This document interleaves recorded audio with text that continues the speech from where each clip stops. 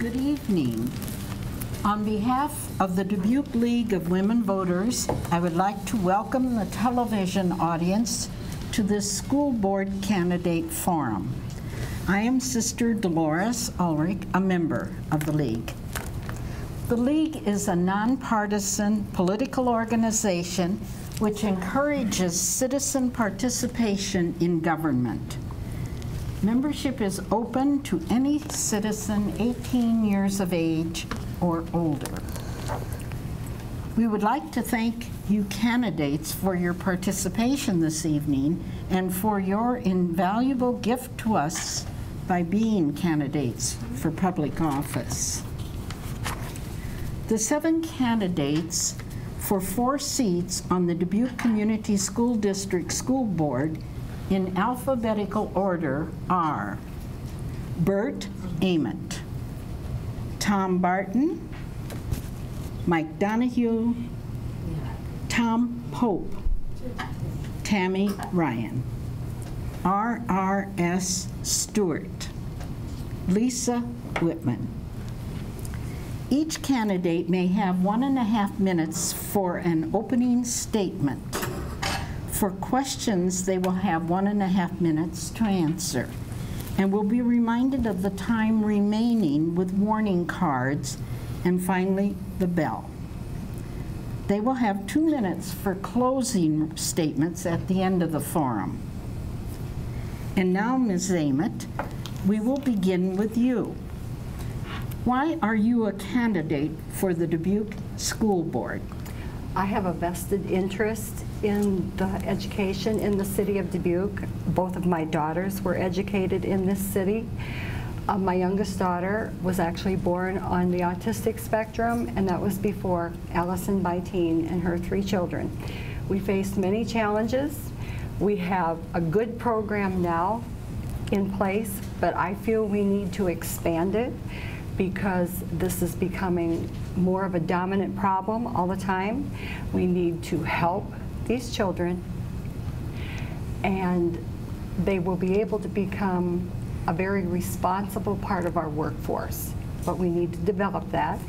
And I felt the place to try and see this happen and make it happen would be to run for the school board where I would have maybe some input have a lot to learn, but I have a passion for this, and I advocate very strongly for special ed.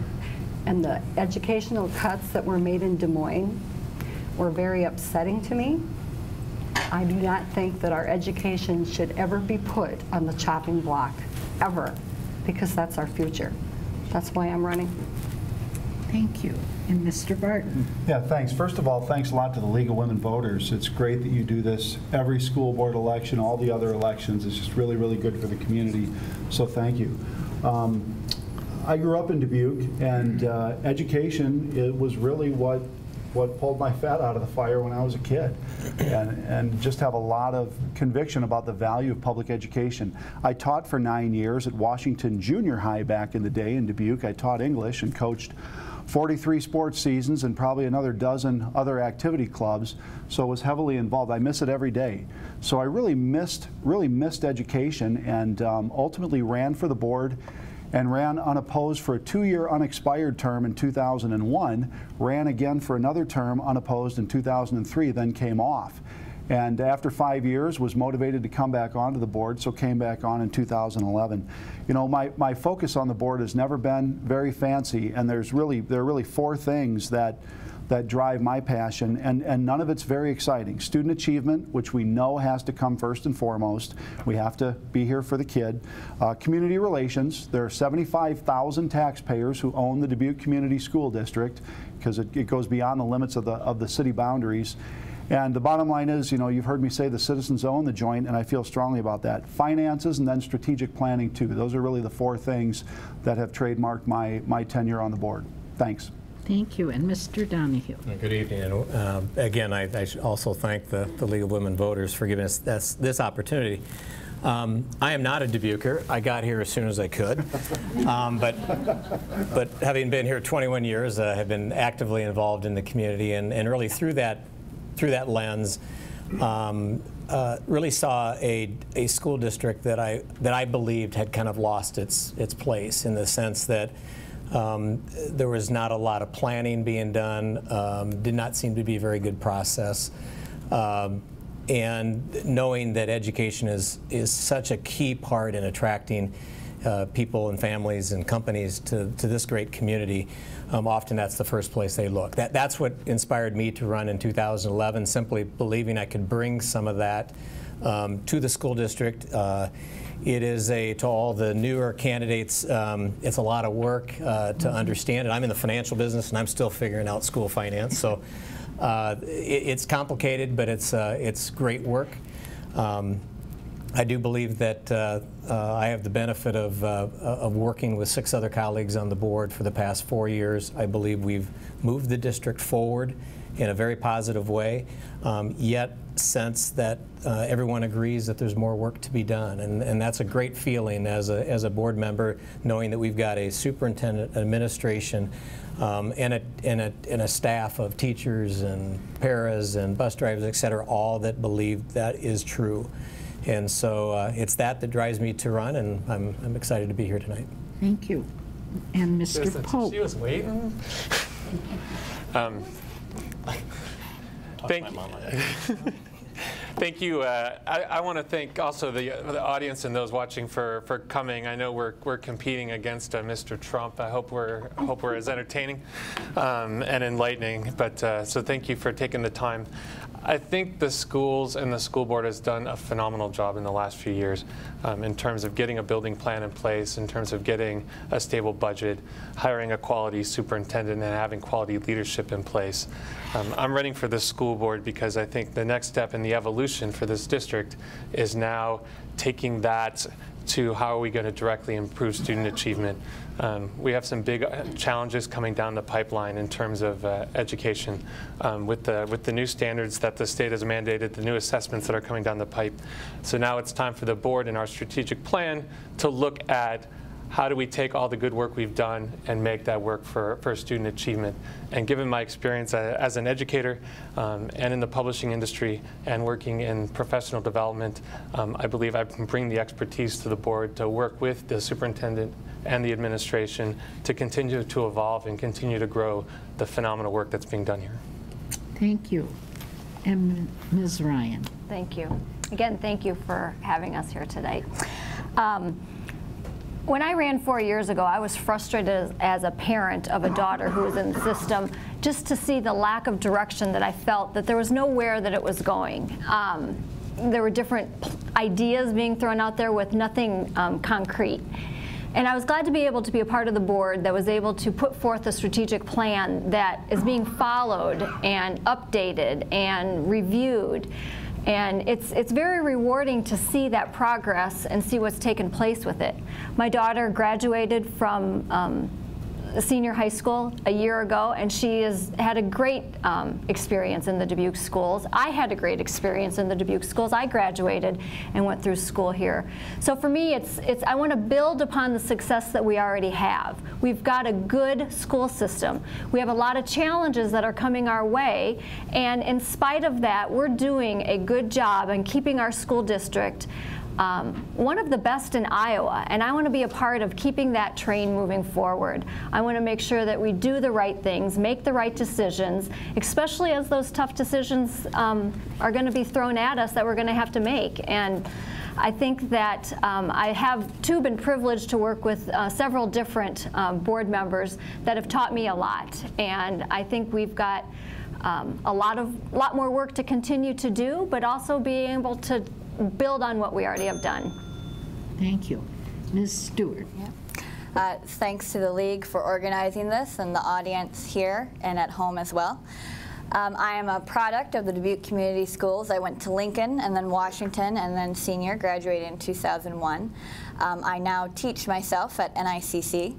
And there are three things I talk about when I talk about why I'm running. One is to be a voice of the average person. I think often people think you have to know someone or be connected. We've all experienced a string of candidates that come around every time there's an election, and I've told every group I've visited I won't just be there when I'm running for something, but they'll know how to contact me in between too. Um, I also think uh, that we need to have a government that's lean but not mean, particularly in these budget times. Uh, we're having to make cuts not because we don't have the money, but because of where allowable growth in the school foundation formula was capped at. That's unfortunate, but it's the reality we're dealing with. And again, to be as uh, holistic, uh, but as kind as possible while making those. And then lastly, um, there are societal changes and technological changes that are affecting our schools and community, and how do we as a district rise up to meet those? Um, I will look at that and bring uh, my experience with different groups and people who are coming into the community as well to the board. So thank you. Thank you. Ms. Whitman. Thank you. Last but not least, I am a Dubuquer. I've been here all my life. I've gone through the Dubuque schools. Uh, my husband Gary is a teacher and coach in the Dubuque schools. We have five children that have gone through all the schools. Um, youngest one's in college now. Um, I've always had a passion. My role, I'm a banker. I'm an analyst in um, banking, so I've been in the banking world all my life, but my passion is education, activities, and now is the time um, to be a board member. You need um, good listeners, um, willing to devote time, and I have all that right now. I, my experience with the schools has been since my kids going through it. Um, I've devoted my spare time to activities.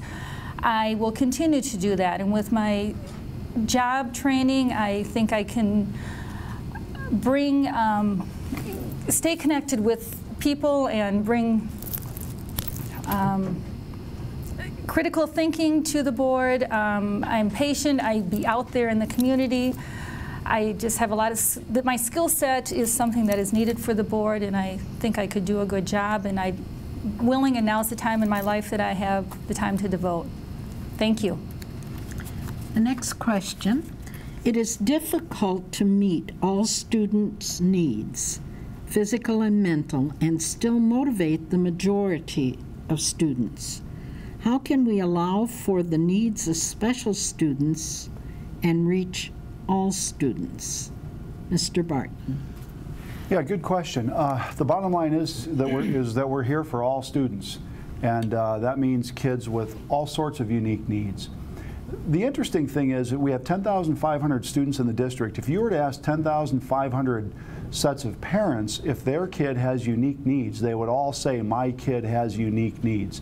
So we forget about that, and we want to categorize and generalize, which for obvious reasons, you do that for efficiencies and for coordination, but I think uh, there's probably as much customization going on in education today as there ever has been, and our teachers are, are working harder than ever to try and meet the needs of each kid.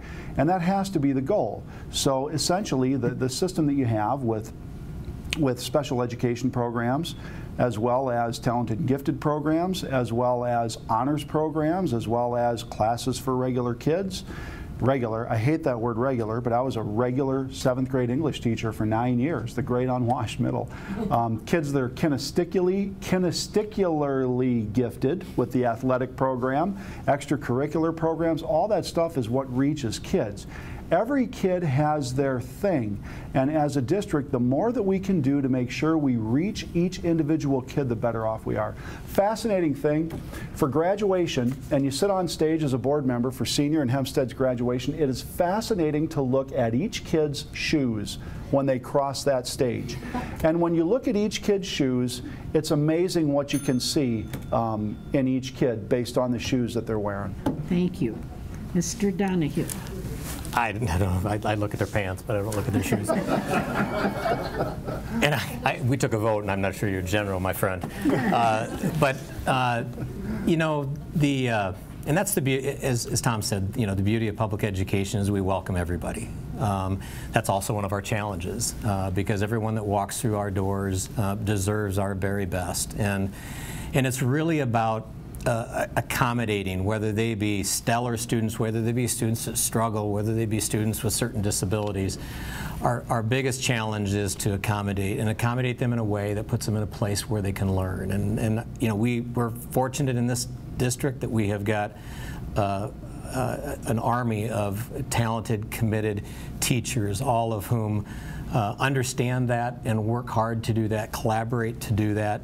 Um, that's continuing to evolve, and again, it's something that's going to continue to grow in our in our school district. And so, uh, what we have to do is have a uh, really have a commitment to flexibility and being able to change as our student body changes and their needs change, and and uh, and a teacher, um, a staff of teachers who likewise share the same flexibility and and commitment. Um, all under the umbrella of what we're trying to do around student achievement for kids within the district. Thank you. Mr. Pope. Um, how about the very unsatisfying answer of it depends, because um, how are we defining special? I guess I'll play off. I, Tom is right. Um, every kid is unique. Every parent feels their kid is unique. Um, special education is if there was an, an, easy solution to special education, it would have been found by now. I mean, there are, are, thousands of people and tons of people in this district who have committed their lives to trying to solve that nut. So to sit up here and say, well, we should do this, um, is oversimplifying. Um, it's not just that use the term special. I mean, the other half of that equation is, now, I mean, as much as it makes um, more headlines when oh achievement scores are too low. So many kids aren't passing whatever tests. You also have the challenge of making sure you're motivating your gifted learners, um, making sure that the, all kids are being challenged, not just to bring up um, struggling learners, but to make sure you're providing opportunities for motivated learners or accelerated learners to, uh, to be challenged. Um, and then on top of that, I mean, one of the reasons that uh, we're thrilled to have our kids in Dubuque Public Schools for a school size, this school district this size to have the vast array of extracurricular opportunities um, for kids to participate in, to keep them motivated to stay in school and to want to go to school and make sure they keep their grades up so that they can uh, participate. It's, uh, it's a huge credit to this district for that commitment they've made. Thank you. Ms. Ryan. Well, I could repeat everything that everybody's already said. I mean, we are public education. We do educate everybody, every student that walks through our doors. And we are very lucky that we've got dedicated teachers who are going to work with every student that they get in contact with. And every student that they are working with, they're going to figure out what's the best for them. And that's, the that's what we can ask for. We can't ask for any much more than the basic of what our teachers are willing to, to do for each of their students. And every teacher I know is sees something unique and special in each of their children that they're uh, working with and they will do their best to give them the best education that's out there. And our role uh, as the district is to make sure we have programs in place for everyone. And it, it, it, becomes difficult, but we do need to make sure we're looking out for every single group of students that's out there. Um, we all want our students to be able to graduate. We want all of our students to be able to get a job or go to college. And it's our job to make sure that they're connected in whatever way that makes them successful to do so. Thank you. Ms. Stewart. Yeah, yeah. So I agree with a lot of what has been said. Um, but another issue I try to bring up when I'm asked questions along this line is that a lot of our school norms, and this is any school, are based on middle class values. And there's nothing wrong with that, but our world is changing. We have a variety of classes in our school district. We have a variety of races and ethnicities in our school district. And that's why I think diversity training for our teachers is so important because they need to be able to identify students coming from different backgrounds that might not match the models that the tests were originally developed for, but might still be able to do handle more challenging material. I think the other part of that is goes along with training parents and how to advocate advocate uh, for their own kids. I bring up when I was in third grade, I was put into a reading group my parents didn't think I should be in, so they advocated for me, and then I got placed into a, a talented and gifted reading group. But again, it's, it's the two ways of training the teachers to recognize what students are doing and reaching out to the parents so they feel involved and that they can advocate for their kids as well. Thank you. Ms. Whitman. Um, I believe we have the programs in place in our schools, from elementary, junior high to high school. First, the kids have to be identified. You know, when they're starting school, some may be a little slower learning, and then by second or third grade or junior high, they're catching up. But as long as um, the teachers, and I believe they all are very alert, they're identifying the issues that some of these kids may have early on, get them in the right programs, get them the special needs training they need for the ones that are maybe falling a little behind or those that are talented and gifted. And getting them in the programs. I had five kids that went through the system, and a lot of them went into special needs reading or a little bit of math. They aged out of that as they hit junior high or high school because those programs, someone took the extra time with those kids they got through it. But then there are the special needs that they always are going to need special programs, and I think we have those programs. Um, we like to integrate as many kids as we can so they can have the experience as all kids do going through school. But that's not always the case when they graduate. Some you know, will need extra help their whole life. But in the public school district, we try to do the best we can during the time we have those kids and I believe we have the programs and the expert teachers and administrators in place to do that. Thank you. Ms. Ament. Education is changing very quickly, and in the way we educate our children is changing. And I think it's very important that we encourage parental involvement because they are right. Every parent thinks their child has a special need. The more you can involve the parents, and the more they understand the process, what it takes to educate children that aren't regular or that are, you know, talented and gifted, whatever the case may be, I think it would be easier to gain support from the community in the financial aspect. Uh, a lot of people may not be so against um, more money, you know, a school referendum.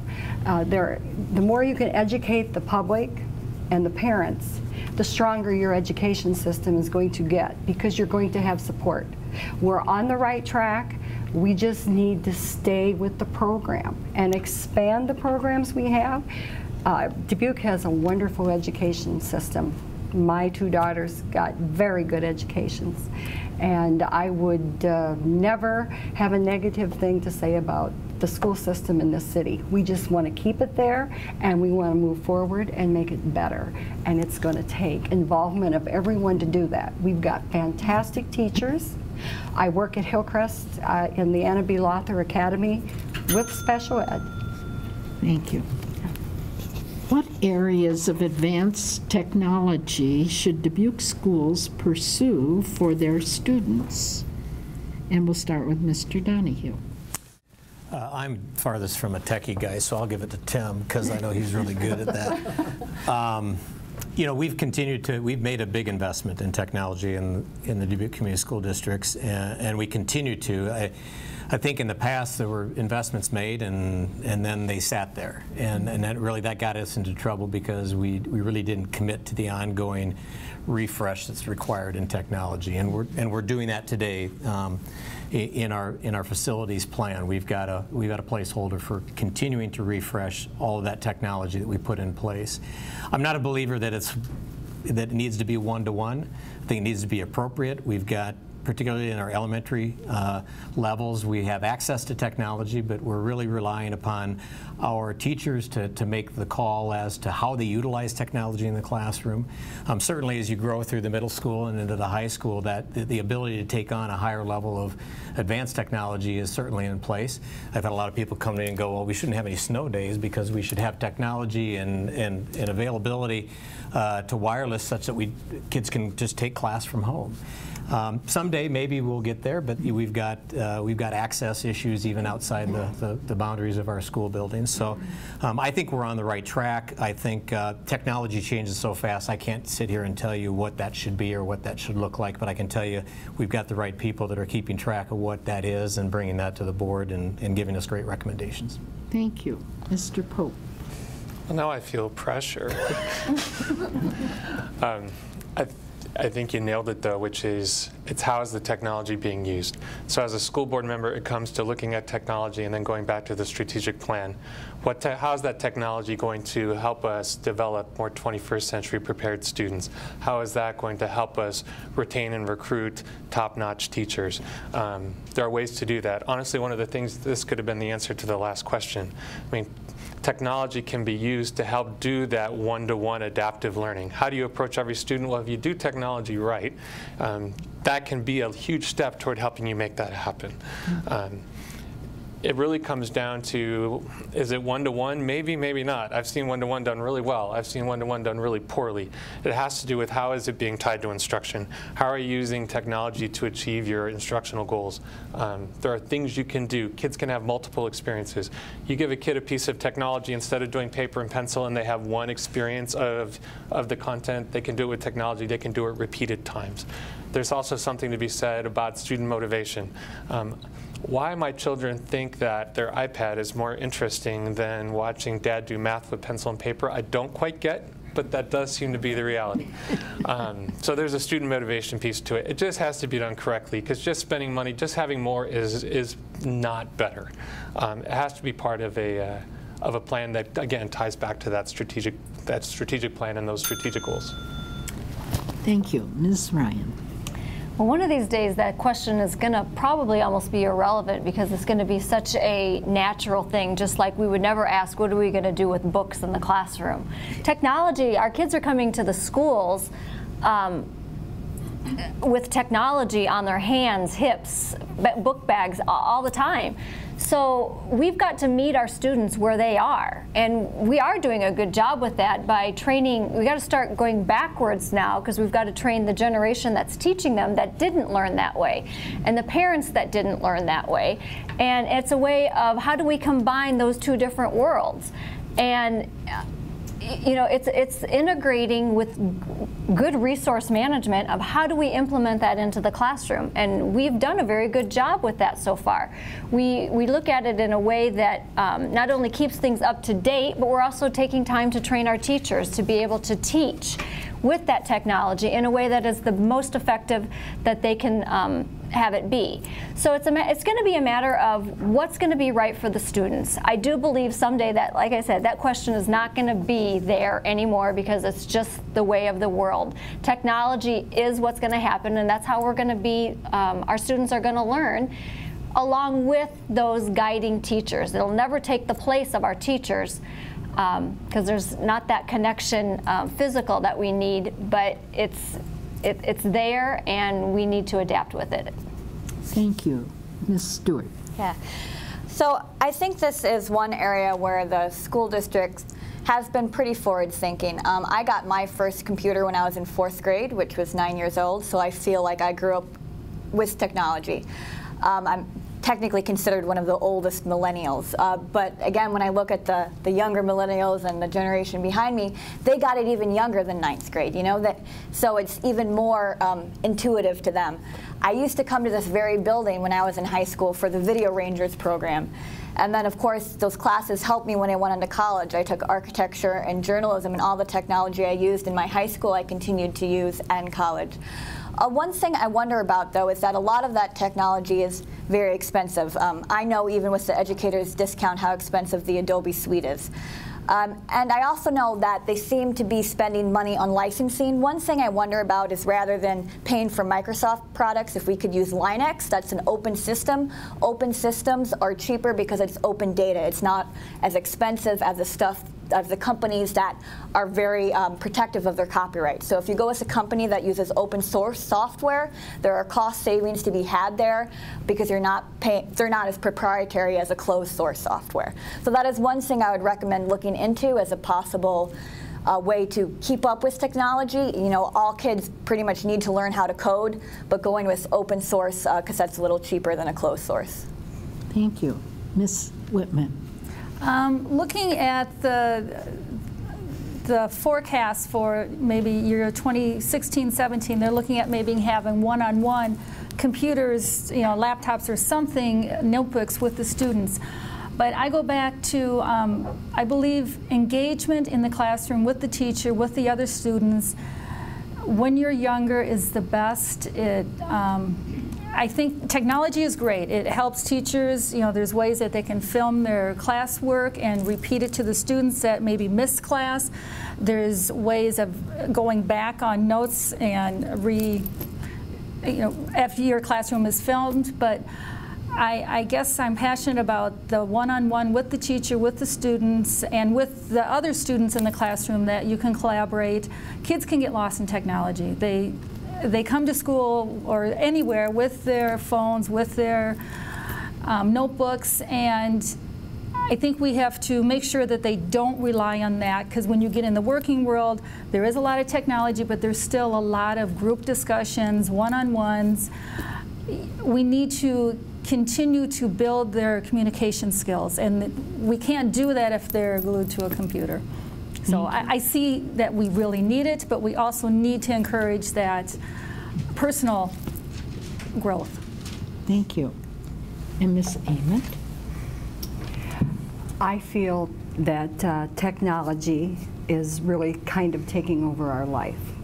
And we are losing the personal touch, and we need to find a balance within our educational system.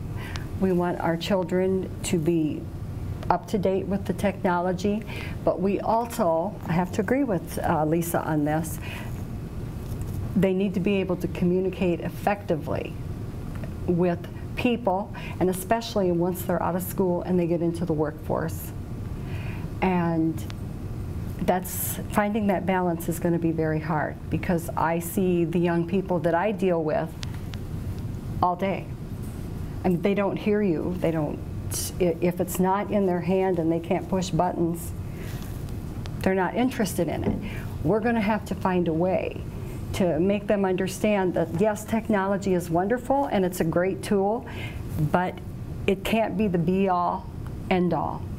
It, it still comes back to people and working with people and understanding that you have to use your brain. You cannot let technology do it for you. The br human brain created all of this. So we can't get lazy and let them depend 100% on it. That's how I feel. Thank you. Mr. Barton? Yeah, we have a, I feel good about some of the things Mike mentioned. You know, we have a technology plan in place with proper nourishment through funding to keep it where it needs to be. It can, technology can be a, a bottomless pit or it can be a laser focused opportunity for learning. When I look at some of the big picture infrastructural things in the district that have been real game changers, I think about things that we even overlook right now sometimes, like the school district website. That really wasn't a factor a handful of years ago. PowerSchool, where parents can go on and see exactly where their kids are. It's amazing. Online registration, the fact that we can email teachers now and can communicate with them directly without having to go through the office and have the, the notes go back and forth in the teacher mailbox. It's absolutely amazing. So I think when it comes to, but, but the big thing is to get the technology in the hands of the kids. That's what it's all about. And I think we have that. And I, you know, I'm, when it comes to any curricular area, particularly something like technology, it's important that we do have the right people in place as a school district to create a plan and facilitate it, and I think we have that. Um, it's one thing's for sure, and that is technology is going to become, it'll become even bigger than it is now, as big as it is. So I think it's good that we've made a commitment to be on the front end, front end of that. Thank you. Compromise is necessary to move forward. What areas of school board decisions do you see that compromise would help move to a beneficial goal? Mr. Pope. My turn to go first. um, I guess the easy answer is what isn't. I mean, I think part of what you want in a school board as a collaborative body um, with the superintendent is the ability to have what I call creative tension, um, the ability for people to bring their expertise and their passion to the table and ask the questions um, to produce the best end result. Um, to be a successful school board member, um, you need to have the ability to think that in terms of like, I'm running for the school board because I believe I can bring a valuable perspective to the school board. Um, that said, it's a perspective, and I, I want to make that happen, but that's to not listen to the wisdom of, of others um, would be short-sighted.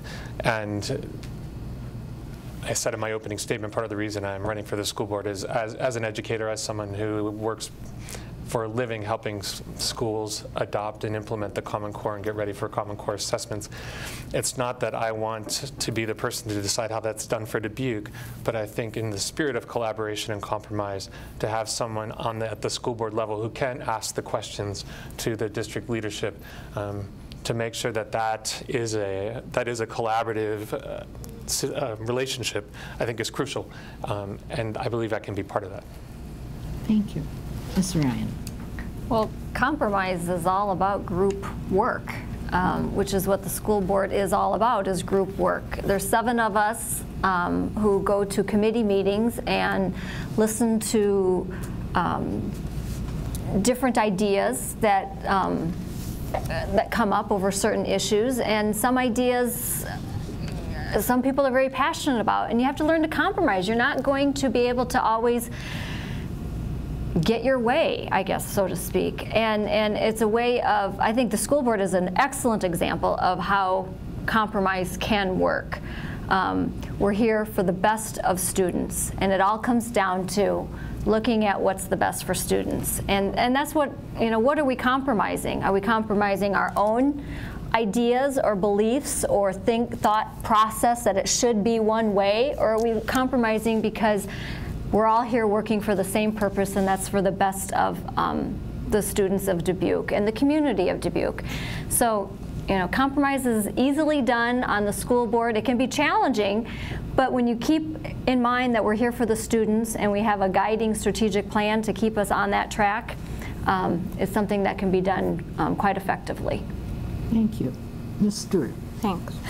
Um, I have taken an interdisciplinary approach to my own education and how I am as a teacher. I like to say I went to architecture school, but I'm not an architect. I went to law school, but I'm not a lawyer. And I went to journalism school, but I'm not a journalist. But I use all those skills in my everyday life, whether I'm teaching or on the various boards and commissions I'm involved in. Um, so being involved with the Human Rights Commission, that's a more formal board, helped me to understand parliamentary procedure, and I'm actually um, a parliamentarian and a member of the National Association of Parliamentarians, so I understand those more formal meeting rules and how to comply with public notice and what the Iowa law is as far as that's concerned. Uh, but I also am involved with other groups, um, like the Day of Peace Organizing Committee, which is more of a collaborative approach, where meetings are by consensus. You're not making motions and voting. You're talking stuff through to everyone agrees on what the path forward is. And I think both of those backgrounds would be very useful as a board member, because uh, on the school board you're one of seven, and you have to get other people to agree to you. And I think having both um, a formal background and those more informal collaborative processes of reaching a decision at a meeting can help to build that consensus and reach a compromise on how to move forward, keeping in mind what's best for the district as a whole and primarily our students. Thank you. Ms. Whitman? Um, I feel a diverse group of seven on the board is the best that you can hope for. Um, we have the professionals, we have the superintendents, we have the administrators, the teachers. So our board, if we have a diverse board that has different angles of looking at things, we have different backgrounds. We may not have an education background, might be finance, you know, all sorts of things. Um, that helps collaboration because we all bring ideas, experiences, we can discuss them, we can come to the best solution with the guidance of the experts who are in education.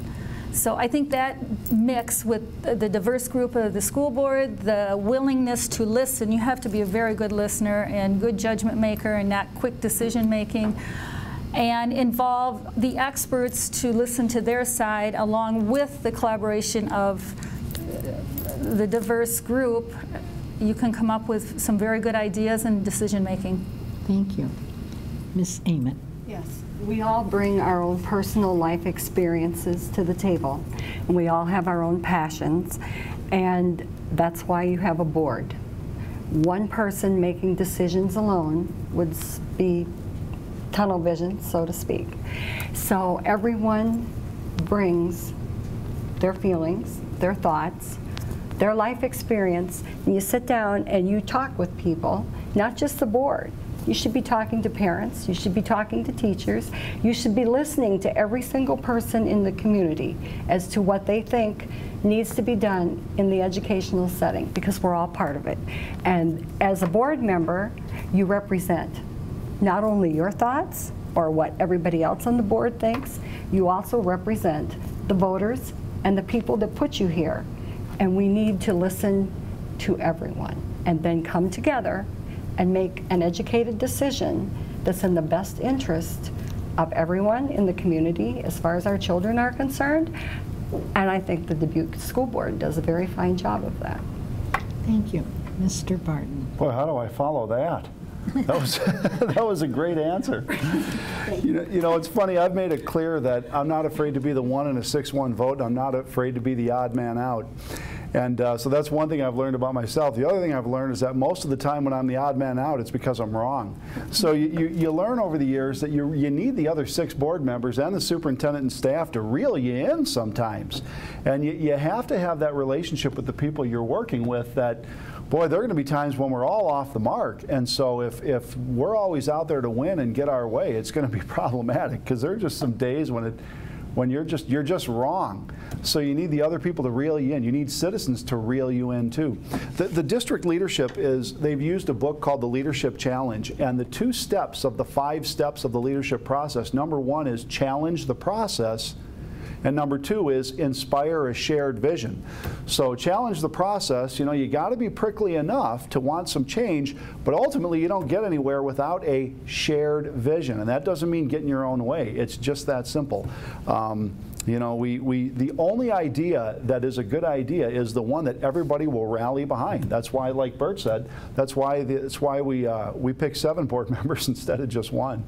Mm -hmm. Thank you. And Mr. Donahue? Yeah, um, I mean, we do. We celebrate diversity in background and, and certainly diversity in thought. And I, I, don't know if I can add a whole lot to what's been said, but you know, it starts with it really starts with a vision, and that's why it was so important four years ago for us to build a strategic plan through a very collaborative process that everyone could, to use Tom's words, get behind. Mm -hmm. um, once you've got that, um, then you know the decision making becomes a lot a lot easier because now you've put boundaries and, and, and really it's a funnel that leads you back to the original plan or the original vision. And and uh, we are one. Each of us are one of seven. Um, we come.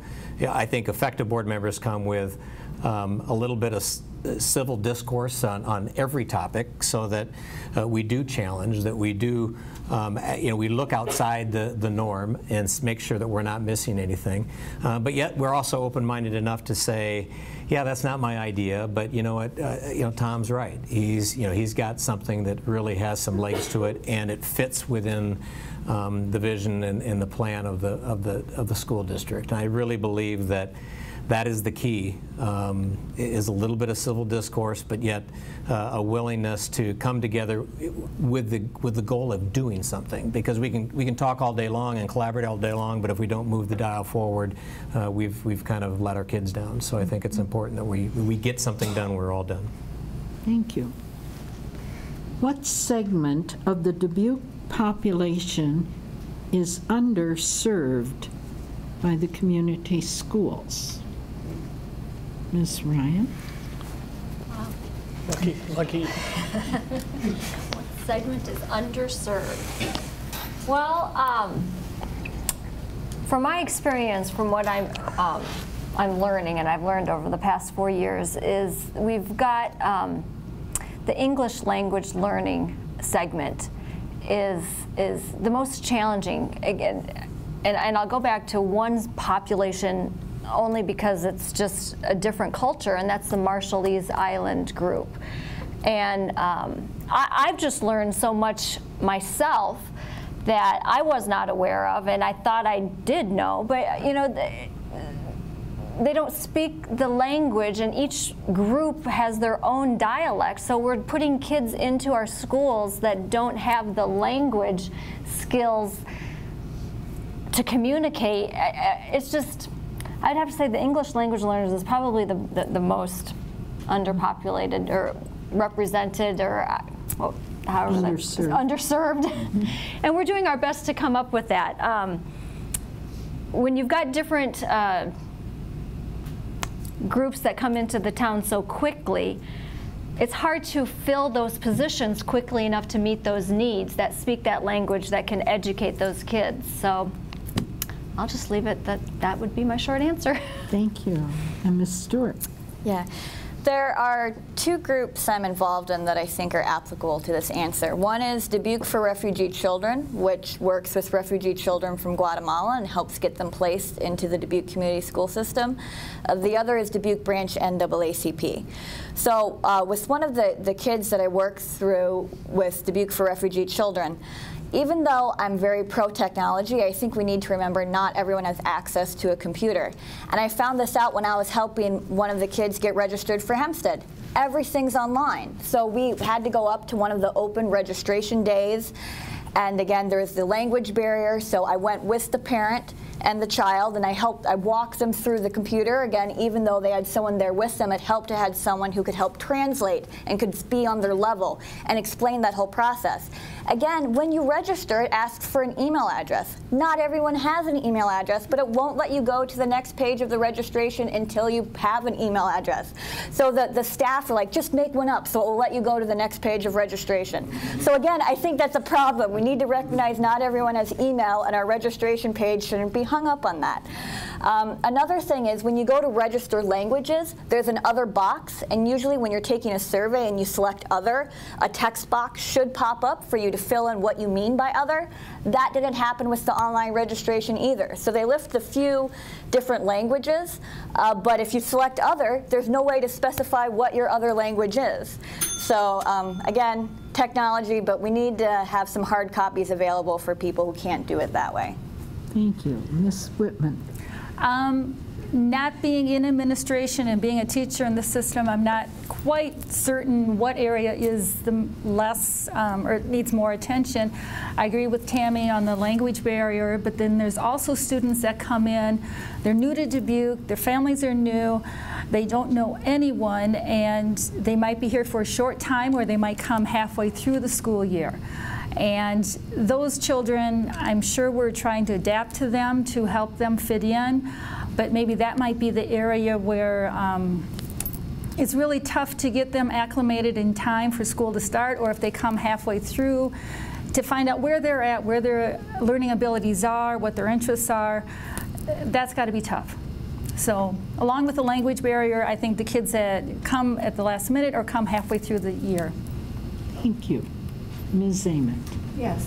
Uh, language barrier is big. Cul- the culture barrier is um, very predominant. However, this is not new to the educational setting. I grew up listening to my grandparents talk about the German kids that lived down the road whose parents spoke German and they didn't know how to do the schoolwork in English. And so, to my way of thinking, if we are going to navigate these barriers and eliminate them, you educate the parents. If the child is having difficulty learning at home because he goes home and they're speaking Marshallese or Hispanic or whatever, it doesn't matter what the language is. It's wonderful to know two languages, but in the meantime, he's getting taught in English. So let's teach mom and dad English.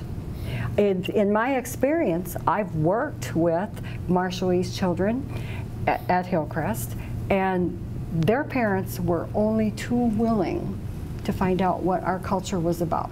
They came in, and their culture is very different. I'm glad she used Marshallese as an example in many different areas. But it's not just that. It, it again pulls the parent into the education system, and it's going to make it easier on the child. And helping mom and dad learn English is not going to be nearly as expensive as other avenues.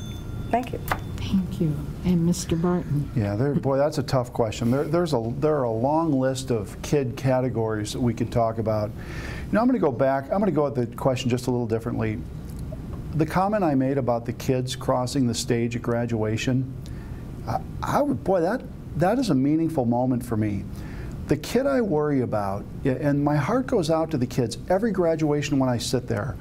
The kid that crosses the stage she or he is a little bit disheveled.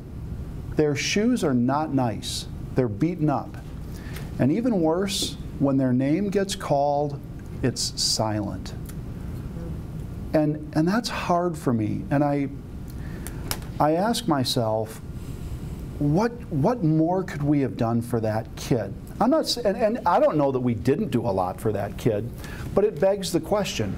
And I ask myself as a former seventh grade English teacher, did I really get at those kids, the, the intentionally inconspicuous kids who will slip through the cracks just because they do?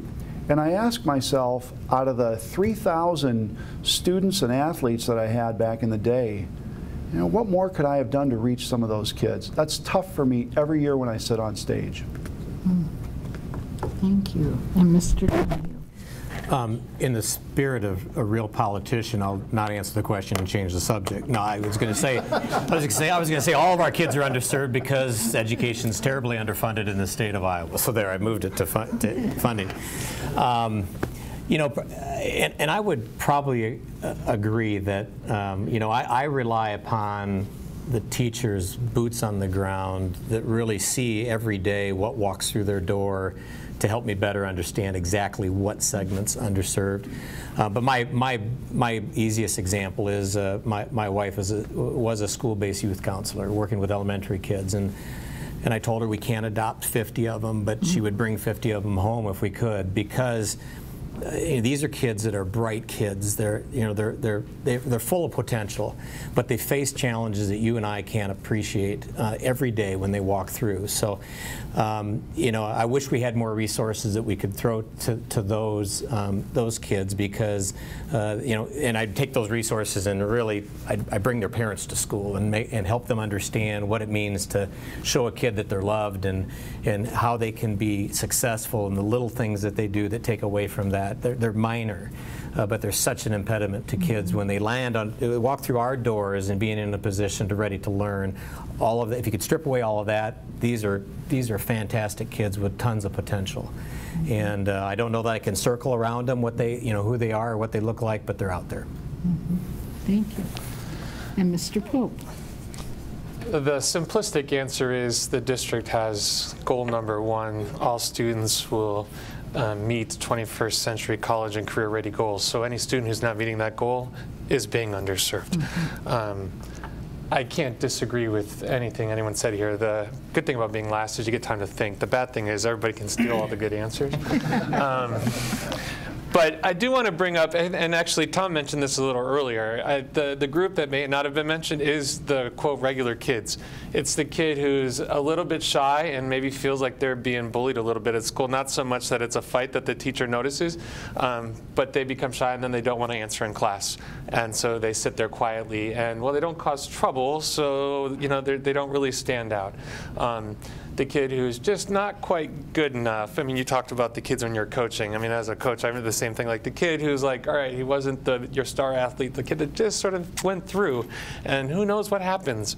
Um, you have uh, such a profound effect on kids. And like at a high, at a high school teacher, middle school teacher, you got 150 kids in your classroom a day coming through. Mm -hmm. And how do you make sure that some kid that uh, is just a kid um, isn't being underserved. I think that's, uh, and you talked about the teachers. We, as a board member, you have to rely on the teachers to, um, to recognize that. Um, but as a board member, being aware of, of those students as well as the unique situations that were brought up. Thank you. Do you see any adult or senior services offered by the Dubuque Community Schools in the future? Ms. Stewart. Well, I do know that the Des Moines Community Schools do this. They have um, like continuing and lifelong learning programs that you can do um, through them. So for example, when I was uh, going to Drake, that's where I went to law school, I signed up for Scottish country dancing through the Des Moines School District because uh, I'm of Scottish heritage. And so, but they have a variety of classes that they allow people to sign up for through the Des Moines public school system. It's like $25 for a class or something. Very similar, I think, to like what the Roberta Kuhn Center does here. So there are other models in Iowa that are doing this. Um, I think it would possible, you know, it would be something to look at see if it's possible to do here. Um, again, because I teach at NICC, I do know that there's a lot of adult basic education and continuing education offered through that um, organization. And there are also already some partnerships between uh, the Dubuque Community Schools and NICC that could possibly be further explored or expanded in that area as well. Thank you. Ms. Whitman. Um, could you rephrase the question? I was thinking a different twist on it, and I want to make sure I do you see any adult or senior services offered by the Dubuque Community Schools in the future? Okay. Um, what came to mind at first was um, there's mentoring for our students that adults can take part in, and usually it's adults that have retired or their children have grown up and they have time to help the, the students, some that need a little more mentoring or just a buddy, just someone to hang out with and talk, and that really it fulfills the adult, you know, their need to be engaged with the young people again. It fulfills the need for the student to have someone else other than a family member or a teacher spend time with them. We have businesses that devote their time to the students. Um, they'll go into the classroom, um, teach finance, teach all kinds of things, or invite the students to come to their place of business. So I really see a lot of engagement with adults, seniors, or business professionals, and the students, and it really helps. Because the teachers can't do everything. Thank you. Ms. Ament. Thank you. Uh, Yes, I do see that in the future, and I think it's necessary. We just addressed this with the last question, the language barrier. And what better way to educate your parents than to have classes at the junior high or the high school or wherever, and have them pay a small fee to attend these classes. It would be self-supporting, and everyone would benefit. I have heard parents say time and again, I don't know how to help my child with this homework. It's been so long since I've been in school, I have no idea what they're talking about. I don't know how to help them. We would all win, every single one of us, if we had classes to this effect to help the adults stay caught up, because we are changing so rapidly. You get immersed in your own personal life and you lose touch with that part of it. And as far as the mentoring programs that Lisa was talking about, they're wonderful. And we do need to encourage more of it. And we have people that are retiring at a younger age now, often 30 and out plans or whatever, and for whatever reason. I think that they could offer a lot of insight to these children, especially families that are in need, children that are in need, that are in trouble. I think it would make a great difference in the community. The more you involve the people, the better it gets because then everyone starts to understand why we have the issues we have and the root of the problem to start with. That's when you fix it, when you know where it started. Thank you. Mr. Barton. Yeah, ditto to Lisa and Bert's comments about the mentoring opportunities. We have thousands, tens of thousands of citizens out there who have expertise in different areas that if we could ever harness that, um, those collective uh, skills, and bring that to our students, that's great. From a standpoint of offering programs, educational programs to adults and seniors, well, I don't know about that. I mean, the bottom line is we, we're plenty busy educating our 10,500 kids. There's just a point where the mission is what it is, and that is, you know, a little bit of early childhood, kindergarten up through about 18, 19 years of age. Um, at the same time, I think we do understand we've got to be a community partner. One of the things that motivated me to run for the board the second time was after we worked so hard for the one cent sales tax funding, which the citizens really supported, we gave a blood oath back in the day when we ran that one cent tax vote that, that the money was for community owned assets, buildings that we would make as available as we could to the citizens. And over time, I think we, we lost sight of some of that. God forbid you try and rent a gym around this place five, six, seven years ago. My gosh, the 15 transfers to nowhere. So little things like that. Hopefully we are sensitive to the fact that, that we do have to partner with our citizens and we have to do what we can to make our resources available when we can do that in a fiscally responsible manner. Thank you. Mr. Donahue. Yeah, I heard the answer. I mean, I heard the question answered a couple different ways. One, as Tom indicated, was really how do we engage seniors and and and the like and parents. Um, and that's an, that's certainly something that's uh, uh, really part of our strategic plan in terms of community engagement. Lots of different ways to try to engage them, and you know what? That really represents a great opportunity for us. Uh, you heard a lot of cultural, a lot of talk about cultural differences. Um, we have certain sectors in our within our district where we have to not only meet the kids where they're at, but we have to find a way to meet the parents where they're at. When you look at significant differences in parent participation in things like conferences, that tells us there is an opportunity there to, to connect and engage them.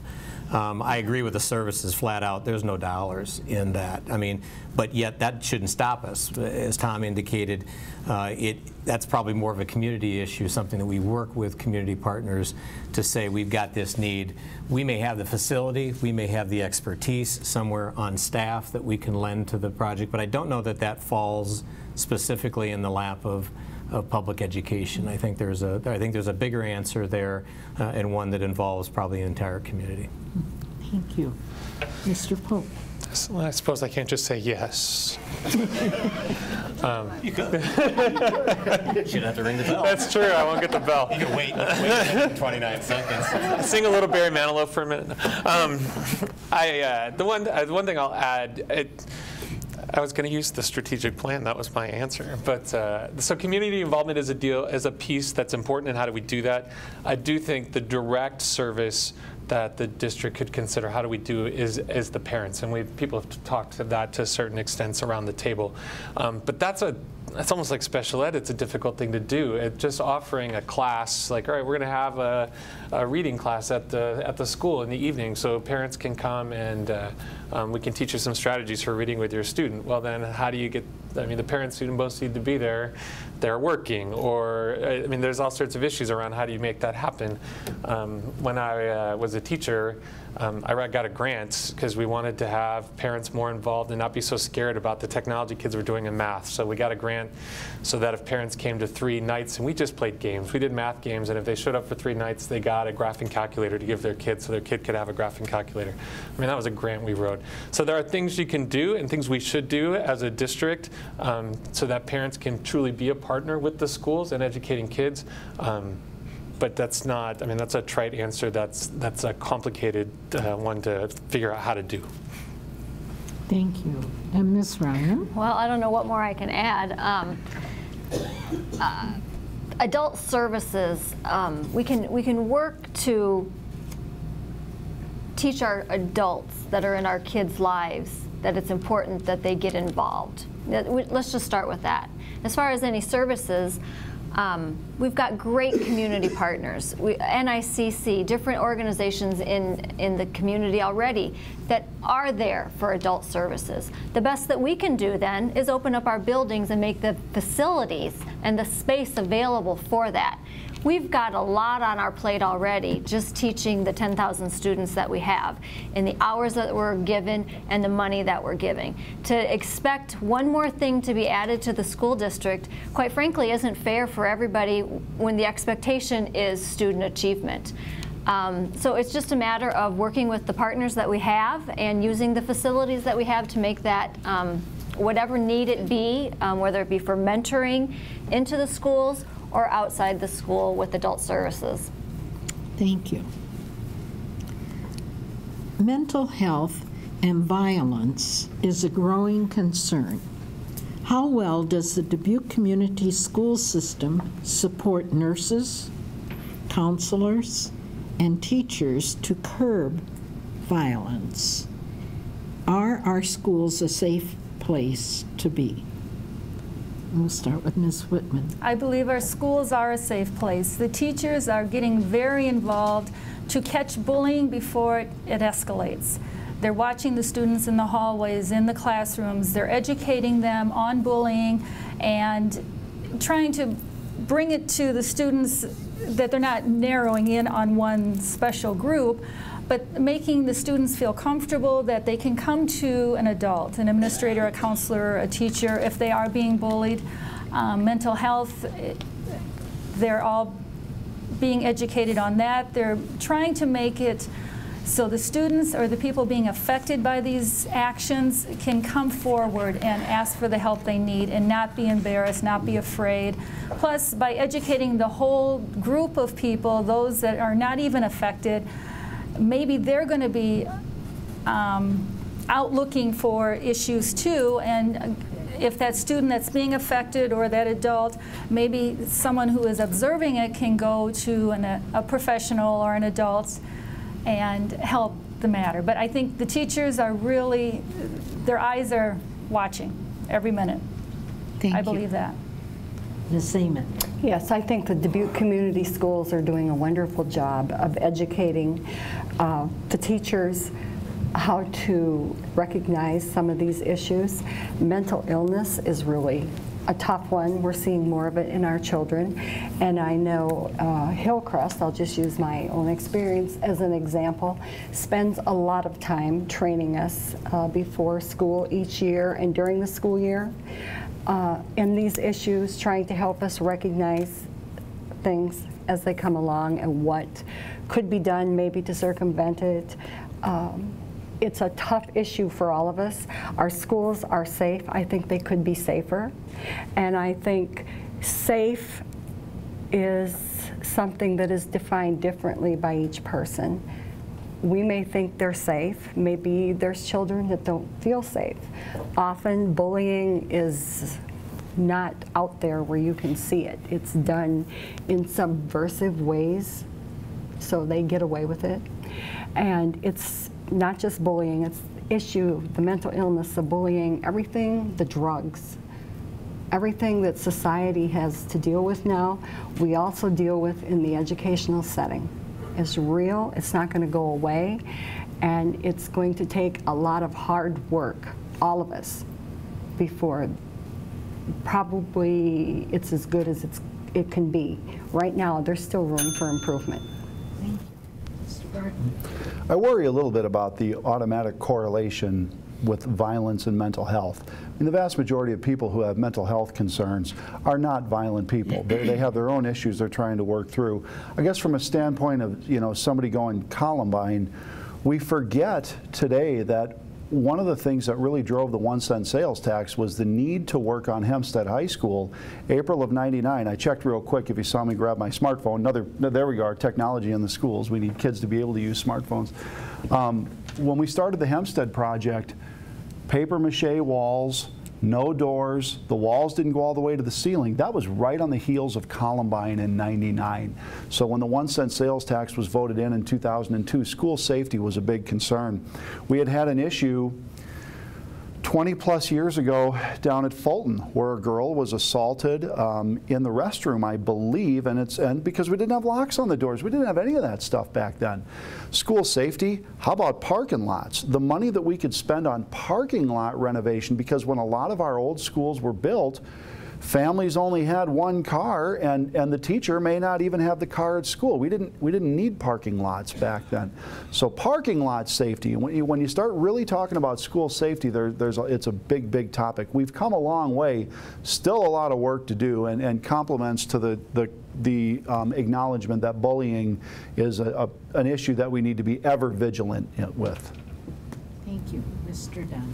Yeah, I think uh, uh, the answer to the question, uh, I think the schools are safe. I think we, uh, we're, we've, we've been committed to making the type of improvements that Tom refers to and others that really do uh, try to address uh, most of the issues. I think the reality is, you know, and I agree, I don't think you necessarily correlate mental health with violence, but I will tell you that I think mental health is a lot like technology. It's ever changing and it's growing, and it's something that we're going to have to continue to, to deal with in our, in our schools. But you know, we walk a fine balance because, as Tom said earlier, the taxpayers own the joint. And one of the things that we often talk about is how do we balance that safety concern with accessibility to these these facilities that are basically belong to the taxpayers? Um, and that's not an easy balance to find. Um, you'll always find some that think we're not making them accessible enough, and you'll find some that think we should lock it down and and you know operate it like a like a prison, if you may. Um, and I think that obviously the balance is, is in between those two. But uh, I think we continue to stay abreast of what we what we see going on. I think I said earlier, uh, I trust uh, the teachers right on the uh, on, that have got boots on the ground, uh, right with the kids every day. We we continue to invest in them and in, in, identifying and, and, trying to uh, prevent you know that carry that behavior carrying out in our in our classrooms and in our buildings and and we have to. But that's something like technology. We have to we have to keep investing in that because those dynamics continue to change. Thank you. Mr. Pope. So I'm actually going to answer that as two separate questions because I think it is. Um, on the mental illness, it really that's a collaboration with the community and honestly with the voters. You talk about the voters own the joint. Um, as a community, we need to decide how much of that obligation do we want to put on the schools and say, as schools, we want you to, to perform, provide these services for our students, um, and how much of that do we want to collaborate with other community partners. And that's a decision. Um, like we, we have this pot of money, and that's, I mean, again, another incredible, every question, they're questions that don't do good 90 second answers.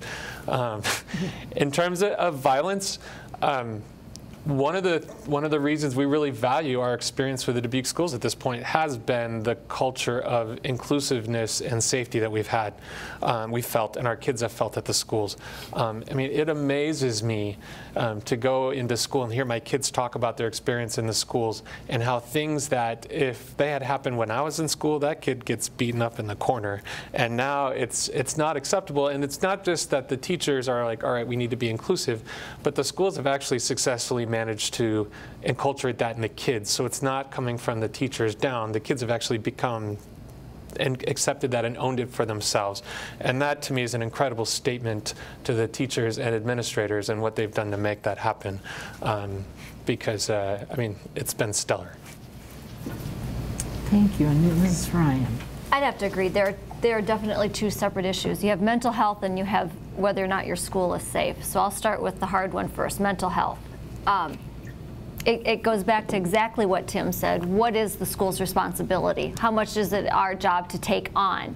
I think what we can do and what we are doing is at least educating the children who are sitting in the classroom with the kids that are struggling for whatever reason that be. Um, to educate the kids as to why this friend is different or what struggles this friend is going through and how you can help that person have a better success in their day. Um, we, we can't solve that problem alone. It does have to be a community issue. As far as violence, we are doing the best that we can to make sure our schools are safe. I feel our schools are safe. We have a pretty safe community. Um, things are changing and we are we're, we're, adapting with that change we put in a raptor system which is a system where now if you want to get into the school you have to um, bring a photo id and get it scanned and wear a badged id to walk around the schools um, and that goes for any parent, person, you have to be identified. So we are taking steps to make sure that we are trying to keep up with as much as we can in the change of um, what violence means to a school district. Thank you. And Ms. Stewart? Thanks. Um, I also agree that we shouldn't conflate violence with mental illness. That to a certain extent, they're different issues. I also don't like saying that society has gotten more violent or there's more mental illness. I think those issues have always been there. We're just more aware of them now and we're addressing them now. Um, one conversation that has been taking place in the community has to do with police in the schools, whether there are things that are ending up as legal matters before that used to be internal discipline. I actually did ask the community oriented policing division about how they choose which police officers get placed in the school. Um, and they did answer my question in that they do choose officers who know how to de escalate and not immediately make every situation you know, literally into a court case. Um, and then I think the, the de-escalation also carries through into what um, our teachers do as well. So I've mentioned I'm adjunct faculty at NICC and I also do some consulting. On days I'm not doing that, I'm I do sub in the schools occasionally. And sometimes I'll end up with this. there was one day I had a student who it was supposed to be individual work time. He was just kind of sitting there, but he wasn't disturbing anyone. And as a teacher, I had to make the decision, do I confront him, like, why aren't you working, get on task, or do I wait a little bit? And so I, I focused on helping other students, and eventually he picked up his pencil and started working, whereas if I had just confronted him right away, it immediately would have been escalating that situation to neither one of us wants to back down. Mm -hmm. Thank you. Tools should be used to evaluate teachers and the administration? Uh, Ms. This is, a this is a very tough question. Uh, first of all, the teachers, in my experience, work very, very hard because we work with challenged children. And they are always open to new ideas. If one thing doesn't work, they try something else. Uh, teachers have a love of children. And as far as evaluating them, I think the fact that they show up day after day after day, take children under their wings, try numerous ways to uh, get them to want an education, to want to learn, that their evaluation should be done on the fact that they are teachers. And they show up every day and do a wonderful job and they try to do the best job they can. And they have they're always ongoing education themselves. Teachers are a special group of people. Not everyone can teach. And and i think that their record stands on its own. And that is their evaluation right there Thank you. Mr. Barton? Yeah.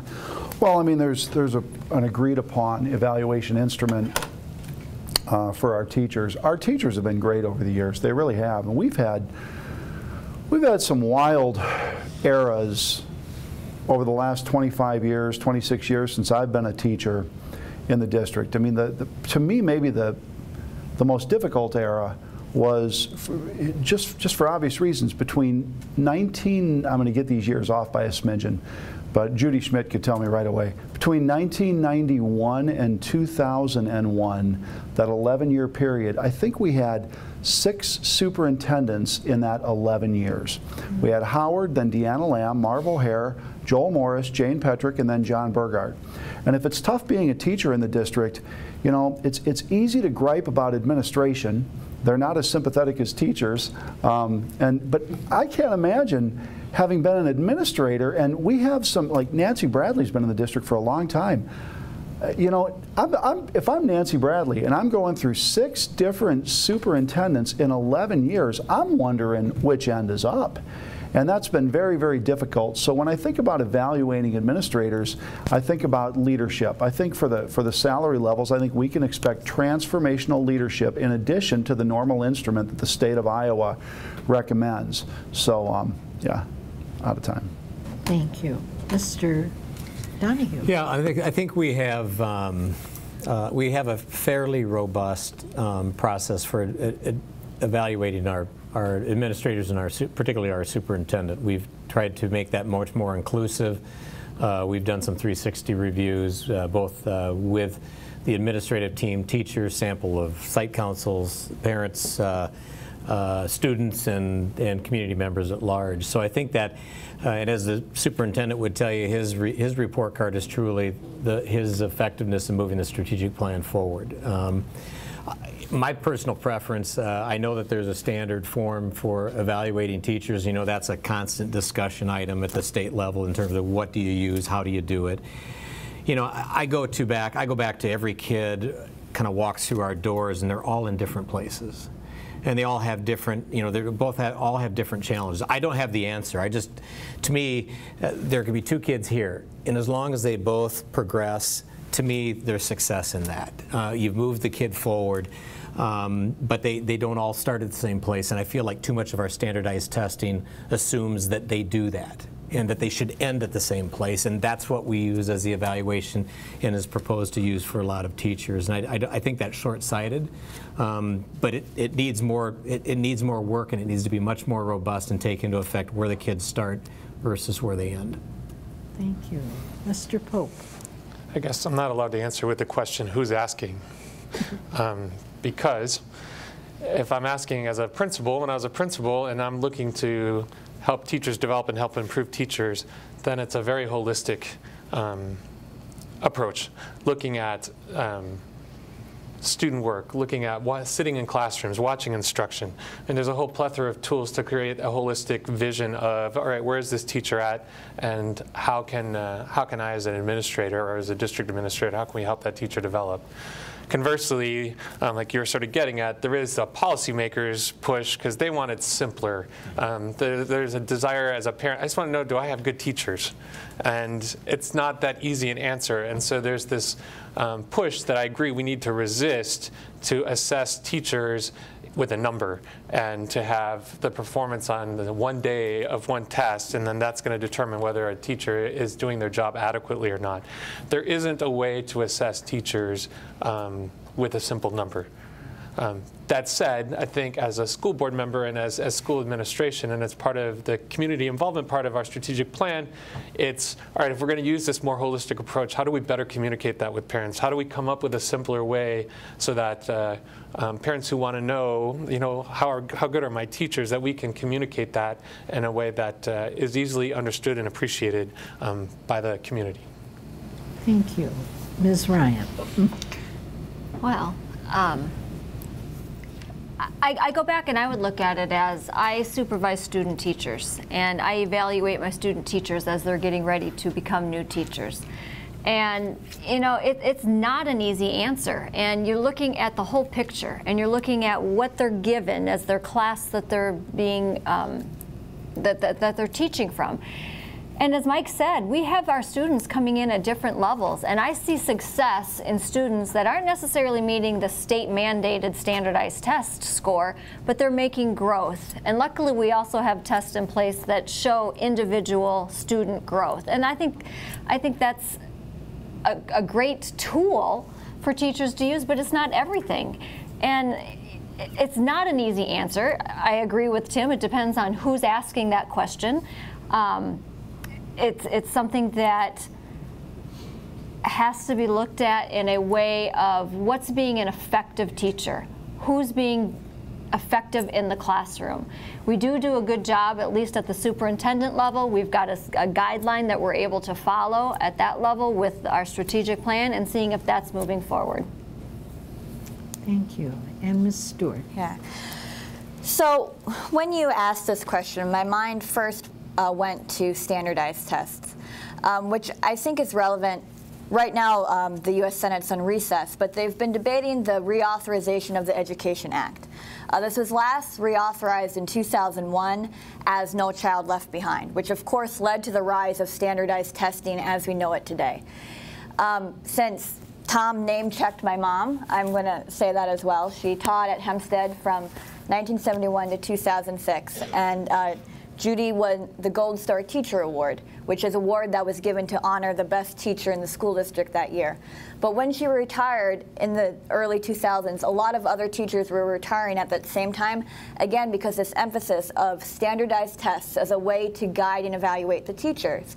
And as someone who teaches now myself, the purpose of a test is for you to see where your students are, and where they need to go and to evaluate their progress. But you can't have a benchmark of, again, No Child Left Behind originally said all students need to be 90% proficient by this year, which is, again, no exception for English language learners. They get one year off from taking the standardized tests and then they have to take them again the next year. No one learns English in a year. And so I think we need to get back to looking at tests as benchmarks and, and, tools for teachers to use what they need to focus on with their students and not the way that our school systems and our schools are being evaluated and labeled as failing. Thank you. And Ms. Whitman. Um, the easiest way would to say if our students are all passing their tests and doing well, showing up every day, that would be your measure of how well our teachers are doing. But that's not reality. Every student learns at a different level. To me, a successful teacher is one that can engage the students. Um, they show up for class because they their eagerness to learn because of the way the teacher's presenting the material. There's so many different ways to present to keep a child engaged. Um, our teachers are being evaluated. I believe administrators or assistant principals are observing our teachers in the classroom, and when they go in, they're not looking to see if they're getting A's or B's. They're looking at engagement. They're looking at class discussion. Um, and how the teacher takes this whole class and all of a sudden the class time is over because they're all so engaged, they're all learning, they're eager to go home and do their work is our wish list, but I guess my biggest thing is engagement with the teachers and the students to make them want more and in turn their test scores will get better. Thank you. I think we have time for one more question. Art and music are important in a well-rounded person and community. but they are the first to take a financial hit. How would you keep art and music education as a priority?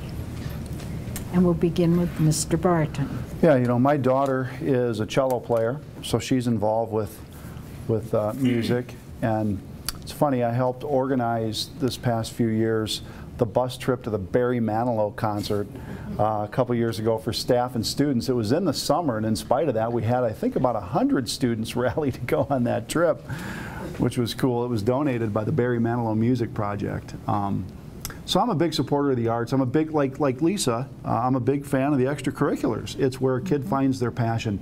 And, and I, I, you know, I really have to stop using the word extracurricular. It's really co-curricular.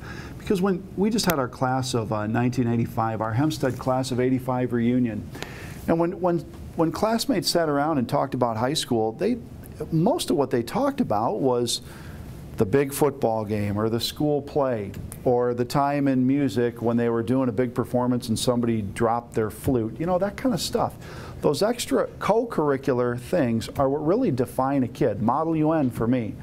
And um, I just, uh, the way you do it is simply by not automatically assuming it should be number one on the chopping block. When you get into a situation where you have to cut that deep, you have to have a lot of communication with the community, and you got to you got to roll out rough drafts. You got to get community feedback. You got to go back and forth with several iterations back and forth with the community before you make a cut make cuts that would be that drastic. Thank you. Mr. Donahue. Um, you know, I was an athlete all through high school, played some in, in college as well. But one of my one of my best memories is I was a I was a second chair trumpet all through. The, got to sixth grade, and I could see the guy next to me in first chair. I was never going to get past him. and I remember the day when my band director came and said, "Mike, you want to play French horn?" And I said, can I be first chair? We're the only one. it's the first, it's first chair and it's the only chair. But but it, I, I, can't agree more with what Tom said. Uh, when you talk to people, uh, talk to uh, you know high school friends or college friends, um, we all respect and understand the great education that we got, but all of the life experiences that you that that you have are often rooted in uh, co-curricular activities, and and there's so much that a teacher can't teach that kids pick up through those co-curricular activities in terms of how to collaborate, how to work yeah, teamwork, uh, how to how to lose, mm-hmm. as much as it is about how how to win, and and I think those are things that are valuable. Um, you know, I wish there was more funding uh, to do that, uh, but. Uh, I think it would take a, a, a real long uh, discussion, and uh, as a board member, I would be pushing back at every opportunity, asking uh, staff to find alternatives before we would start cutting in those areas. Thank you. Mr. Pope. I write the songs that make. I was at that concert. It was all. pretty good, Tim. Um, I uh, I think uh, this what you have to do is you have to not undervalue um, arts and music for all the reasons we've been talking about. Um, I mean, I can give the litany of things my kids have done too in terms of. Um, I didn't. I learned what a thespian was when my daughter got to senior, and now she's in the thespian mm-hmm. the troupe. Um, I think what happens is at the end of the day, you have to balance.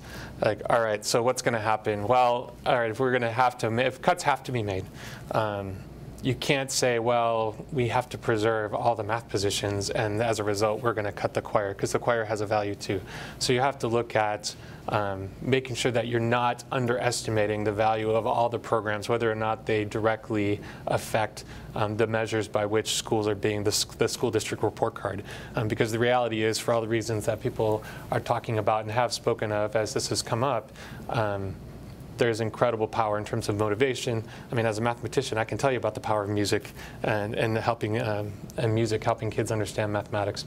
So uh, we just have to make sure as a board and as district leaders when we're putting a budget together that we're not underselling those services the district provides that may be may not be direct but provide indirect benefit um, toward the test scores and things that are also incredibly important. Thank you. know, just to add on those, the co-curriculars are what keep the kids connected in school. They're the ones that are going to bring them there every day if that math class is hard for them or if that science class is hard for them. So it's those co-curriculars that are very important, and there is a big correlation between art and music and advancement in math and science. So it, it's a it's a package all around. We can't underestimate any of those areas, and um, you know, we all have experience with our kids in these co-curricular activities. I never in a million years would have thought my daughter would have been in the um, thespian troupe at senior high school the way she was, but it made her the person she is today. And I wouldn't, I would have been, to her not have that experience would be absolutely a loss in her education. And I tell everybody that, you know, find something for your child to get connected with. So eh, it's important for a district to have. It's as important as math, science, and English. Thank you. Ms. Stewart. Yeah. I think art and music is extremely important. I took piano lessons at St. Francis when I was in elementary school and then took the violin at Lincoln and at Washington. And then at senior, I was a member of Thespian Troupe 69, the oldest thespian troupe in Iowa. And one day last year when I was subbing, as soon as the kids found out I was an alumni, they hit me up and got me to donate $50 to the theater program at senior. Um, but I've also we also talk about it in practical terms, but again, I think it's important in other ways as well. I saw this last week with the student I was helping register at Hempstead. When we went over his schedule and said, do you want to add anything? He said, choir, I want to add choir. And he had been observing for two semesters last year, and then when I talked to his counselor, he said, the choir students just scooped him up and it helped him learn English and it helped him make friends and feel like he had a connection to that high school in a way that he wouldn't have had otherwise. Um, I mean, my age was in the newspaper, so you all know that my friends are starting to get married and have babies. Um, my goddaughter is going to be in middle school, and I see this again with, with those kids as well. Um, some of my kids' friends have special needs. They're on the, the Asperger's spectrum, or um, they have oppositional defiance disorder. And being involved in the arts, again, is something that brings them out of their shell and makes them want to continue learning. And I don't think you can just say, you know, art is important because it, you know, teaches you motor skills or math is important and how it relates to music, but again, in and of itself. Thank you. Ms. Whitman. This is my passion. I believe art and music bring out creativity in students. We talk about um, technology and their jobs ahead in the working world. If a child or an adult does not have creativity, they're not going to grow. Um, art and music also help a student that maybe struggles in the regular core classrooms, math or science. Their self-esteem is going down. They're not getting the grades they should. They struggle. So maybe they'll walk into an art class or a music class or an athletic sport or theater, and they have success. And they really believe, I can do this now. The teacher's saying, look what you did. You did this all by yourself then they start thinking, well, yeah, I can do something. Then they'll go back to their math class or other classes. So once their self-esteem is brought up just a notch, someone's giving them praise for something they accomplished, that's what it takes for them to continue to grow. So um, to have creative adults, to have self-esteem built, and unity, being involved in those fun classes, that makes a more well-rounded individual when they graduate from our schools. Thank you. Ms. Ament. Yes, thank you. Art and music should never be eliminated, and they are a passion of mine too. I am an artist. I can draw anything. Um, so, but it, it does more than teach you how to sing or how to play an instrument or how to draw. It takes a God-given talent that sometimes is buried within you. You haven't even realized that you have this talent and you find it, and then the old adage, practice makes perfect. You work and you work and you work at this, whether you're going out for football or you're going to play the trombone in the band, you want to be the best. And it teaches perseverance. It teaches you the child that they can learn new things and excel at them. It gives them self-confidence, and the extracurricular pulls them into social uh, situations where they are forced to become a social person and interact with other people, other children with different ideas. You know, you have your, uh, when I went to school, we used to, I was in Wisconsin, born and raised in Wisconsin. We had uh, these competitions up at Platteville in the college where, you know, you had solos and duets and all this stuff. And it taught you much, much more than how to play that instrument or how to sing that song. It developed you into a human being that is going to go out and share that talent with the world. Thank you. Now we've come to the time where you're each given two minutes to uh, make closing remarks that you'd like to leave with all of us. So we'll begin with you, Mr. Donahue. Well, uh, let me first again thank the, the League of Women Voters and, and really congratulate this slate of candidates. Um, um, some great answers to Yes. some great questions tonight. Um, I won't take up two minutes. Um, I, I will tell you that I was excited four years ago when I ran for the school board. Um, I'm very excited about uh, having the opportunity to work with some fantastic uh, uh, fellow board members over the course of those four years uh, and an incredibly talented uh, staff and administration that this, that this district has. And I think uh, the, this district has one of the best superintendents in the state.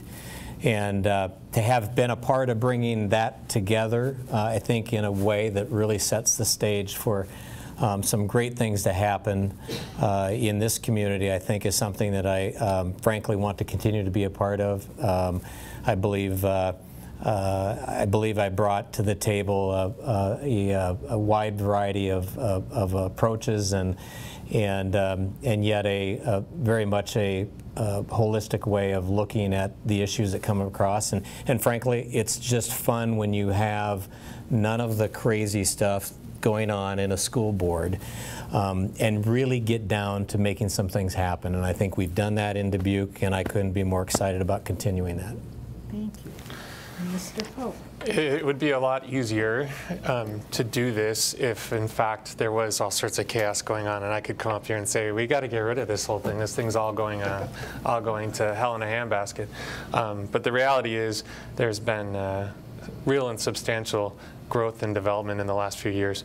Um, I am honored to have my kids in the schools here, and it's been a, a great part of moving to Dubuque. Um, but the reality is the challenges aren't going to stop. You've asked phenomenal questions. I guess you've asked phenomenal questions this evening about real challenges um, that aren't going to go away. Special education challenge is not going to go away. Um, it doesn't look like the budget issues are going to go away anytime soon for, for reasons beyond the control of, of the board or the district leadership. Um, so as we approach these new challenges, the continuing challenges, the new challenges, um, coming with uh, new standards and new assessments, um, I believe I can bring a voice to that table and be part of that collaboration and bring a skill set to add value um, to that discussion as we continue to um, move those strategic initiatives along in that strategic plan. And uh, um, so I, I ask for, for your vote in that. Um, and thank you for staying for an hour and 40 minutes. It's, uh, it's great that people are, are committed to the schools and uh, value enough to, uh, to come to these events. Thank you. Ms. Ryan. And it's been my privilege to be able to serve on the school board for the last um, four years, and it's hard, really hard to believe that it has been four years. Sometimes it's like it goes slow, but yet I can't believe it's over with already. And I have a lot of people come up to me and say it must be a thankless job, and I will have to say to you that, and then they thank me. I- I get more thanks for serving on the school board than you would ever imagine. And I'm actually the one that needs to be thankful because I'm thankful to be able to serve the community and to be able to serve with some great board members that I've um, been on in the past um, four years. I want to be able to continue to be an advocate for the community values that I see of happening in Dubuque. I know what it's like to raise a child and put them through the Dubuque schools. I'm a product of the Dubuque schools, and I want to be able to continue moving forward. We've done a great job with our strategic plan. I want to be able to continue making that progress and um, continuing on the right track that we're already on. We do have challenges ahead of us, and I think that we're in a position that we'll be able to make some very good educated decisions and really be able to collaborate together on what decisions are going to be made. And I too ask for another four years to be able to serve and to serve the community and to be a, represent, a representative of um, the community on the school board. Thank you. And Ms. Stewart? Yes. Uh, so since I laid out my three points at the beginning, I'm going to tell you a little bit more about myself. Um, I'm a big believer in public education. Um, even my undergrad and graduate school were at public universities. So from K through 20, I was at public schools. The only exceptions were Montessori preschool, and then at the other end, Drake for continuing legal education, which I went to because my grandfather, a Methodist minister, also went there. Um, his wife, my grandmother, was a teacher. My dad was a theater teacher at Senior before he became a social worker and then a firefighter. My mom taught at Hempstead for 35 years and is still teaching English to speakers of other languages at NICC, where I teach. Her grandmother, my great grandmother, was a teacher. So I come from four generations of teachers. Education is in my blood and is something I'm deeply passionate about. Anyone who knows me will tell you that I throw myself into everything I do. I'm very thorough, I do a lot of research, I know my facts, and I bring passion. And I'll have passion for this board, and so I ask for your vote. Thank you. Thank you. Ms. Whitman? Um, since I made the decision to um, run for school board, I've been so excited. I'm reading everything I possibly can. I'm talking to people. Um, education is very important to me as well as involvement. Our, my five children had great experiences here in the Dubuque schools. My husband's a teacher and coach in the Dubuque schools. I want to be part of it now. Now that my kids have gotten a little older, I have the time. I have the talents that require, are required of a board member. I have the time that I can devote to long hours if needed. Um, but I, I, guess I'm so passionate that I will do my very best to um, follow through with the, the strategic plan to um, guide the school district in the direction that we need to go. And I have the skill set to do it, so I really hope for your support. Thank you. Thank you. And Ms. Ament? Yes, thank you. I was born and raised in Wisconsin, and I moved to Dubuque uh, when I was 18 years old, and I got a job at Flexsteel Industries. I spent uh, 16 and a half years there. I was active in the labor movement. I carried a union card most of my life. I um, am a union steward. I sit at the negotiating table for my paras. I call them my paras because I represent them at Hillcrest Family Services. I've served on the board of directors in our small credit union, that the upholsterers credit union, before we merged with Alliant for five years. I have uh, always been interested and devoted to education. I loved going to school myself. I instilled that in my children. I'd set them on my lap when they were six months old and start to read to them. Education is very important. It's what's going to build our future, not only in this city or state, but our entire country. I'd like the opportunity to serve on the board. I am passionate about special ed, in particular autism, I'll be very honest, and it's a growing problem, and we all have to deal with it.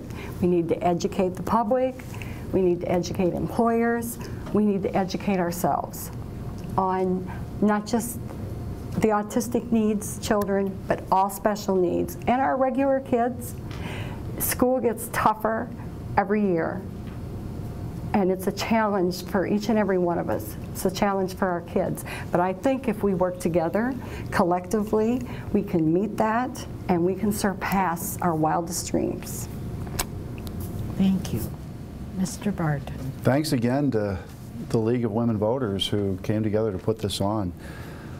Um, you know, I taught for nine years and I miss teaching every day. I was never happy with how abruptly I moved from education into the business world. I made that decision at, in the summer after I had left the school year fully intending to be back at Washington Junior High in the fall. The, one of the toughest phone calls I ever made was calling Art Rolling, our building principal, and saying, Art, I'm not going to be back. That was, that was tough especially telling Art that because Art was a very persuasive guy.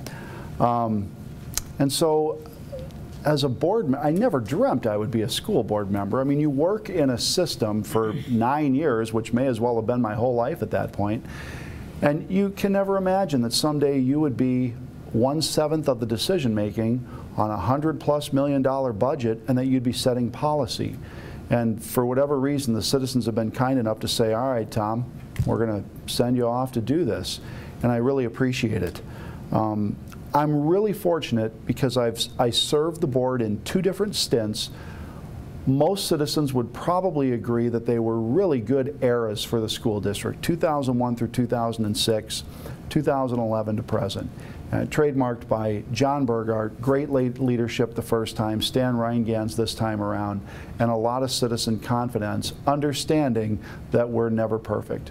So I would appreciate your vote. I think we've made a lot of progress in the last four years. I think we have a ways to go yet, and I think we can get there if we all keep working together. Thanks.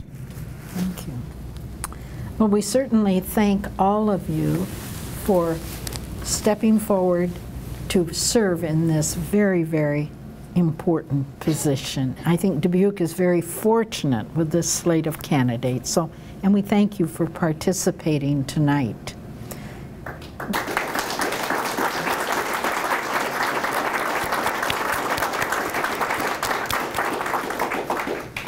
Thanks also to the school system for providing this room and for filming this forum and rebroadcasting it.